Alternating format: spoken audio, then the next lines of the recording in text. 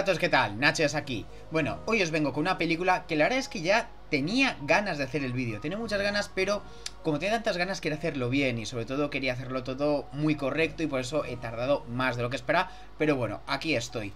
¿Por qué? Bueno, pues no solamente porque me ha parecido una película bastante bonita, sino también por todo lo bonito que lo rodea. A ver, la cosa es que hace unas semanas o quizás meses, eh, mi chica, bueno, pues estaba leyéndose un libro que decía que ella de pequeña se vio la película. Y yo, bueno, ¿qué, ¿qué, es? ¿Qué es? A ver, coméntamelo. Me dijo que era la historia de la gaviota y el gato que le enseñó a volar. Ah, me llamó mucha atención el título y entonces pues me explicó de qué iba. Iba pues que eh, una gaviota este, está en el mar, entonces en ese momento pues hay un vertido de petróleo, muere, pero antes de morir pone un huevo y le hace prometer a un gato que por favor cuide ese huevo y que le enseñe a su hija a volar. Y entonces pues va de esto. Claro, yo voy, me meto en Film Affinity y veo que la película es curiosa, es muy curiosa porque es que el autor, que es Luis Sepúlveda, es chileno, pero se vino a España y la película es italiana, o sea, es una, una mezcla de nacionales muy extraña. Y sobre todo que la película tiene un 6, tiene un 6,4 y digo, bueno, bueno, no sé, yo pensaba que esta era una de esas películas que, bueno, pues que, no sé, que la verías de pequeño, te gustaría y luego de mayo pues te bajarían al 5 o al 4. Pero, oye, si eso está bien, vale. La película está en YouTube, la verdad es que no me fue muy difícil buscar, esto bueno, lo digo porque es una película que no veo yo dónde se pueda encontrar fácilmente. Está en YouTube, pero no solamente la vi, ya sabéis que yo normalmente cuando digo, bueno, esta película está basada en un libro que no me he leído, me lo he leído, ya está. Para esto sí que he hecho investigación. El primer libro que me leo en meses, la verdad. Luis Sepúlveda, la historia de una gaviota y del gato que le enseña a volar. Y bueno, pues aquí vengo a hacer la reseña completa. Me leído un libro para niños. Bueno, y la película, como digo, tiene un protagonista que es un gato. El gato que es Zorbas, que es, como dice aquí, un gato grande, negro y gordo. Gato de puerto. Es que, qué bonito, me gusta como, como se dice, ¿no? O sea, es que lo dices, gato bueno, gato noble, gato de puerto, muy bonito, muy bonito.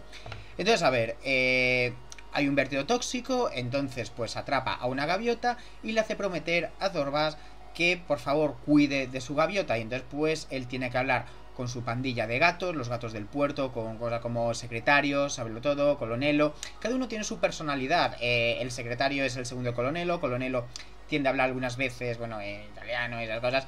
Y sobre todo, pues que es como muy pomposo, ¿no? Y además, pues que es un poco el más tonto, pero como es el de más rango, eh, siempre hace quedar mal a secreta y dice, deja de decir, quitarme las palabras de la boca. Sabelo todo, que está obsesionado con la enciclopedia y que piensa que todo está ahí. También a Barlovento, creo que era Barlovento, ¿no? Que era un gato que, que es, bueno, es, de barco, con lo cual pues conoce mucho mundo. Y entonces entre todos ayudan a esta beta. Pero con lo que yo me quería centrar sobre todo es en ciertos cambios que han tenido que para la adaptación. ¿Veis cómo es esto? No es excesivamente extenso y de hecho la historia es la que es. Y la película tan solo dura una hora y diez minutos, con lo cual, claro, han tenido que rellenar. ¿Qué es lo que hicieron? Bueno, en el libro hay una trama en la cual eh, tienen que negociar con las ratas y aquí esto lo han convertido en el tema principal. Han tenido que hacer que las ratas están invadiendo el puerto y esto hace pues que haya un jefe de las ratas, que mande espías, que organicen cosas y demás. Lo cual no está mal, no está mal como para decir, oye, venga, tenemos que extender hasta una película, me parece una elección bastante acertada. Lo que sí que me extraña es que sea un musical, es un poco como Disney, pues que han tenido que meter algunas canciones. No está mal, pero para mí no han sido excesivamente memorables. De hecho, pues ya no me acuerdo ninguna. Hay una de la radio cantada, pero me poquito más, poquito más, la verdad. También, por supuesto, han tenido que hacer algunos cambios de personaje y han tenido que adaptarlo a los niños. Em, aquí si lo veis, los dibujos, pues ya lo veis, son gatos normales, es una normal, mirad este que, que majo es, qué pelazo tiene, qué pelazo pues eso, ¿no? O sea, son gatos normales y aquí pues los han tunificado muchísimo, los han vuelto muy caricatura. Y entonces, claro, aquí también han añadido personajes. Por ejemplo, eh, hay un personaje aquí que es el poeta, que me hace gracia pensar, jaja, Luis vuelve a estar pensando en su casa. Y el poeta, que pensabas que no hacía nada, pues se los va a ayudar, jaja. Bueno, pues en esta película también un poeta, pero también tiene un niño pequeño que es el que más adelante va a ayudar. Eh, no solo eso, sino que también eh, una gata que aparece al final, aquí aparece al principio, y se va a desarrollar una historia de amor que va durando a lo largo de la película. Es cierto que en el libro es un poco apresurado. Y también hay un cambio muy llamativo, y es que introducen a un pequeño gato, un gato niño, el cual pues... Eh, vale, pues aquí hay una cosa, ¿no? En este libro hay un chimpancé, el cual, bueno, pues es alcohólico, eh, es lo que tiene. Y entonces, pues que le dice una serie de cosas a la gaviota. Eh, en este caso, en la película, el chimpancé ha desaparecido. Y han metido este gato, imagino yo, para que los niños también tengan un personaje más con el que em, empatizar, ¿no? Con el que identificarse. Ah, mira, son gatos medios. Pues este es el gato niño, es el con el que queremos estar. Eh, y es el que le dice estas palabras. Eh, me parece bien, todo esto pues ayuda y sobre todo me gusta este mundo que van poniendo en plan de que hablan de la gran guerra de, de los gatos contra los perros, de que van hablando de desde los antiguos egipcios, este, ahí tenían más respeto por nosotros los gatos. Me hace un poco el mundo que se van creando. Y también, bueno, pues como es de los años 90, hay una grandísima carga de mensaje medioambiental. A ver, en los 90 era la época en la que las películas eran así. Que si el bosque de colores, que si Ferguli y todas esas cosas. O sea, eran películas con mucha carga ambiental y aquí nos meten bastante caña a los humanos. O sea, nos meten pues ya, empezamos con un vertido de petróleo, los animales dicen, oh vaya, que cómo estamos destrozando el planeta y muchas otras cosas. Entonces dicen, bueno, pues como dicen, no podemos hablar a un humano porque se van a asustar y se dice, no, fíjate que eso me ha gustado en el libro, que dice, los delfines hicieron algo parecido y les acabaron pues eh, domando en un circo o en el zoo y luego dicen, bueno, pues como los loros, y pues los loros también les han encerrado porque están... No, vamos, los gatos no hablamos. Y no sé, pues eso pues me llama la atención también cuando dicen de lo bonito que tienen y a veces sin querer hacer daño hacen.